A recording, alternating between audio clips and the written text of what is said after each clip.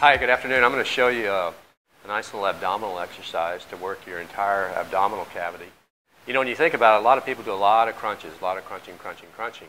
And when you think about that, the crunch motion really is driving your shoulders down toward your legs with not a whole lot of movement in your lower abdominal cavity. In order to get that to happen, I found for me that using my legs is the best way to get my entire abdominal wall into the action.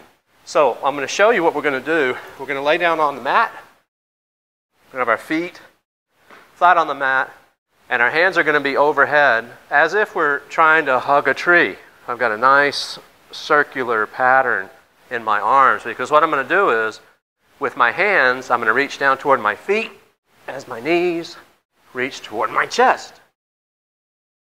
So this dual movement of both legs toward the navel and shoulders toward the navel really makes a great impact on your abdominal workout.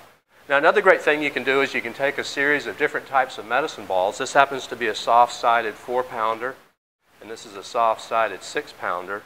And you can take that any combination of. I'm going to put the four between my knees and I'm going to put the six overhead.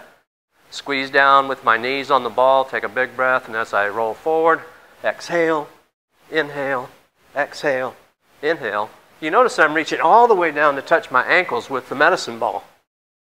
So I can feel that movement throughout my upper and lower abs because I'm using my legs.